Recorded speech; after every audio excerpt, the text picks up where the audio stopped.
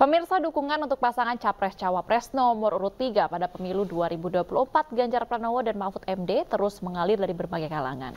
Ya, pemirsa perwakilan khotib, dai, ustadz dan ustazah sejabodetabek yang tergabung dalam jaringan khotib milenial For Ganjar menggelar deklarasi dukungan untuk Ganjar Mahfud di Jakarta. Jaringan khotib milenial For Ganjar menyatakan akan berkomitmen penuh ke depannya dalam pemenangan Ganjar Mahfud di Pilpres 2024. Dukungan ini mereka suarakan usai menilik rekam jejak Ganjar Mahfud di bidang pemerintahan serta pengalaman keduanya di bidang politik.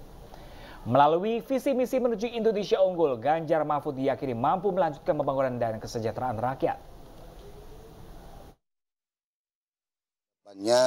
Kita siap memenangkan Pak Bapak Haji Ganjar Pranowo, juga Bapak Profesor Dr. Haji Mahfud MD untuk senantiasa memenangkan insya Allah.